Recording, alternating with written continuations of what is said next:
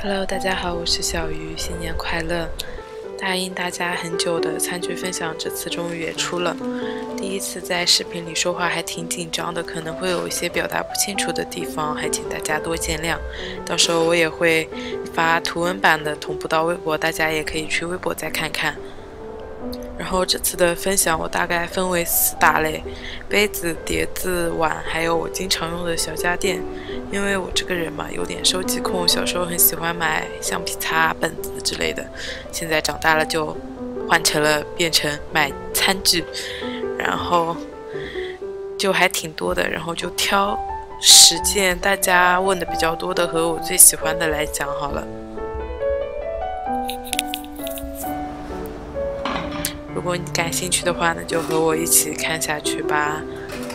最先给大家看一下刀叉之类的，我会按照大小来分类，正餐刀叉和甜品勺会分开放，这样我要用的时候找起来也会比较方便一些。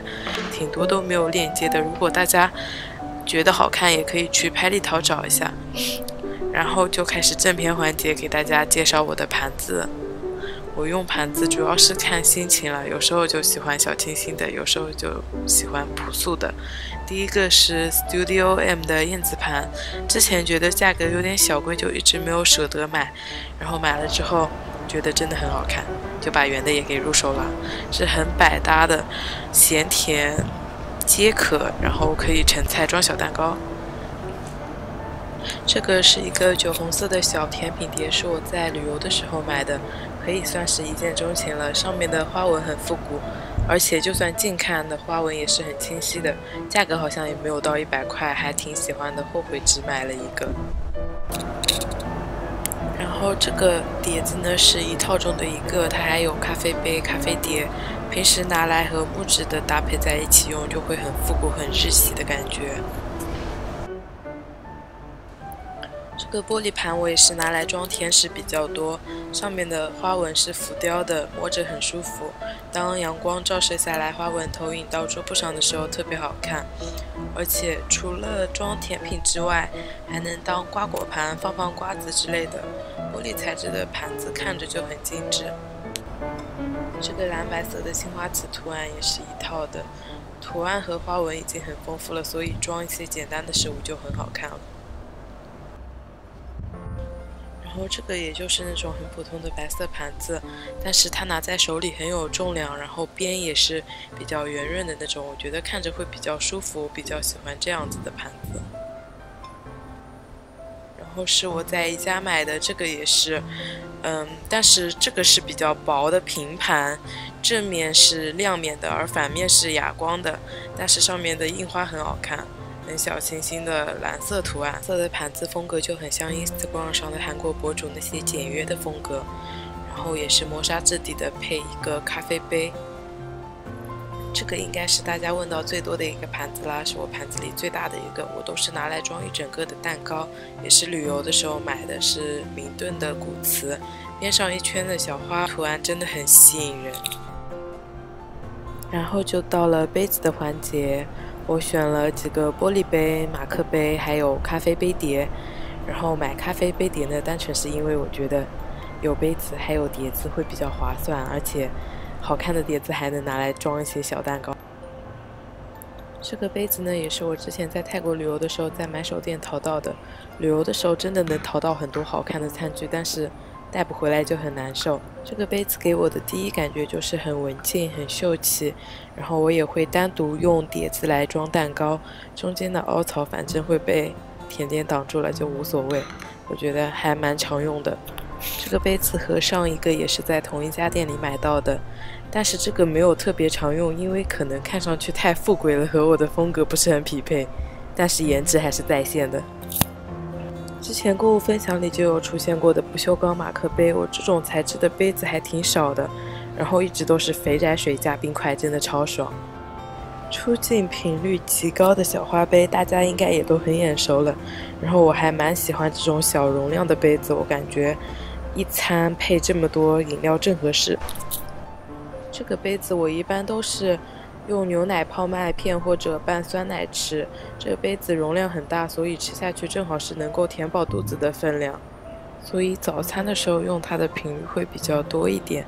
然后像这个我也是拿来当酸奶杯的，而且这个杯子的容量就很合适，主食之外再配一碗酸奶啊之类的，也不会觉得肚子很撑，很占肚子。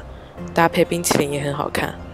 这个杯子也是我很喜欢的一个马克杯，上面的手绘图案是我喜欢的那种风格，复古但又会很夸张，拿来装一些热气腾腾的饮料，比如说热可可、热牛奶之类的，我觉得适合冬天使用。这已经是我买的第三个这种类型的杯子，前两个被糯米打碎了，就能知道我有多喜欢了吧。这个咖啡杯碟呢，也是在。家里面买的，当时就是冲着这个碟子去的，因为这一圈花边我觉得很好看。然后因为我其实不太买碗，还是买碟子比较多。然后看到弹幕里大家对那几个白色的锅比较感兴趣，所以就把它们放到一起讲好。买这个碗的时候呢，我没有看清尺寸，以为是个大碗，但是收到实物后，但也挺好看的啦。这个木碗吧，我觉得就像是日剧里面会出现的那种碗。我一般都是拿来盛饭或者盛汤。我有三个这样子的碗，然后每一个的木纹和颜色都不一样，我觉得还蛮特别的。哦，像是深夜食堂里面会出现的那种碗，还挺好看的。这个嘞是一个烤碗，可以直接放进烤箱，可以烤布丁啊之类的。但是我一般都是拿来当蘸碟，还是宜家的。主要优点就是便宜，有空的时候去宜家逛逛，看看淘淘宝贝也挺好的。这个碗是我的吃面专用碗，因为我吃面真的很喜欢喝汤，所以我会买一个这样子的大碗装汤。这间店铺我已经买过很多次了，里面的碗都是陶瓷制品，加上简单的手绘，很淡雅复古。然后就是这几个锅。这个双耳锅是搪瓷材质的，但是我觉得这种材质烧汤很容易粘锅，洗起锅来也是很崩溃。然后我就配了蒸架在当蒸锅使用。这个烧水壶也是和之前在同一家店购买的。然后搪瓷材质其实很容易磕碰损坏，但是好在颜值真的很高，拍照很好看。然后就是宜家的薄荷绿色小奶锅。我是真的很迷薄荷绿这个颜色，觉得刚光是看着心情就会非常好。然后也是木质的手柄，虽然是个奶锅，但是我觉得煮牛奶很容易沸出来，所以我一直就只是单纯的烧烧水，也没有什么别的用途。但是我觉得它只要负责好看就已经很足够了。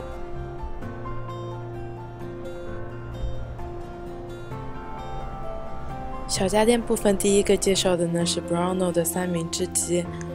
然后也是我很喜欢的薄荷绿，这款是和姆明的合作款。另一款白色的也很好看。然后吐司和面包我都比较喜欢吃脆脆的，所以我觉得这个机器对我来说还是蛮有用的，而且可以替换烤盘。我大概买了四个烤盘，华夫饼的、鲷鱼烧的、松饼的，还有一个小蛋糕的模具，所以替换烤盘来说，这个机器还是蛮多用途的。加热之后会把烤盘上的姆明图案印到吐司上面，我觉得还是蛮有创意的，特别可爱。榨汁机的品牌是 ECX，可以拿来直接榨沙冰，然后有两个杯子和两个盖子，替换之后就可以直接榨完带出门。然后摩飞这台榨汁机呢，优点就是方便便携了，但是它是要加水和加牛奶才可以开始制作的。一般我拿来做奶昔比较多。这台东林的早餐机很多功能，左边是面包机，可以给面包、吐司解冻，然后右边可以当炒锅，还有蒸锅。早上可以煎鸡蛋啊、培根，然后还可以蒸紫薯或者烧面。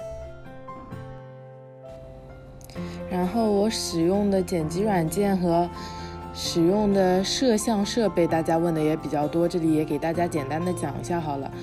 然后我目前在用 PR 和喵影工厂这两个剪辑软件，但是 PR 会比较难学一点，所以给大家介绍一下喵影工厂，适合小白上手，即使没有学过，也可以很简单的就学会这个软件。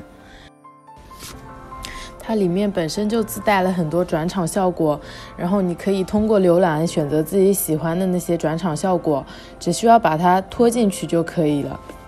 除此之外呢，它还有一个特效商城，里面有各种主题的特效包，像是春节、圣诞节这些主题都会有。然后特效包里涵括了一系列的音效、字幕、转场效果、动画元素，我觉得还是相当容易学会的，自己稍微摸索摸索就可以了。然后大家也可以用这个软件剪出属于自己的 vlog。然后开始介绍我的相机们。目前手头在用的三台相机，第一台是尼康的 D 五三零零，然后它会有一个翻转屏，你可以坐在桌子前就可以看到相机里的镜像，但是它的缺点就是很不防抖。然后是我之后买了一台佳能的 M 六，但是我觉得。嗯，就功能来说，可能还是 M 五零会比较好一点。它有一个向上的翻转屏，但是缺点也是画质会比较差，然后不防抖一些，更适合拍照多一点，而且适合女生用，带出去拍照会很轻。最后一台就是最新入手的索尼的 A 七三，然后它的缺点就是它的翻转屏只能向上翻九十度，然后就是屏幕做的会比较差一点，但是。防抖和对焦这方面是做的相当厉害的。然后相机呢，我还是推荐大家在能力范围内选择最贵的，然后最新的产品。毕竟电子产品买新不买旧嘛。然后视频到这里就结束啦，谢谢大家的观看，期待下次再见。